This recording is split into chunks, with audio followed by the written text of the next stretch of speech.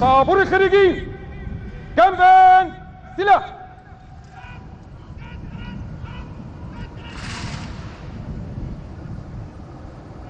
بسم الله الرحمن الرحيم.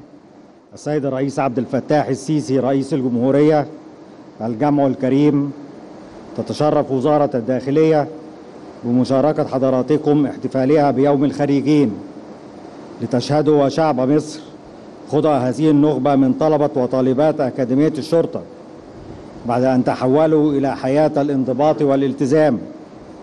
واليوم يبدأون أولى خطواتهم العملية في أداء رسالتهم النبيلة لحفظ الأمن والأمان في ربوع مصرنا الغالية يقفون بصلابة وشموخ حراسا للوطن في سبيل رفعته ونهضته ورخاء شعبه العظيم.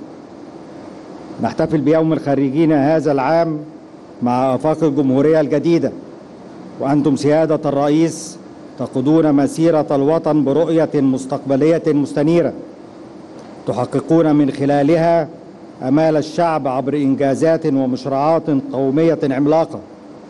أسست لدولة حديثة آمنة مستقرة. تتبوأ مكانتها المستحقة بإرادة وطنية ثابتة. السادة الحضور يدرك جهاز الشرطة ادراكا كاملا ما يحيط بالوطن من تحديات يفرضها محيط إقليمي يموج بالصراعات ومخططات خارجية تستهدف تقويض مسيرة الوطن نحو التنمية والرخاء. وهنا يقف أبناؤكم من رجال الشرطة دوما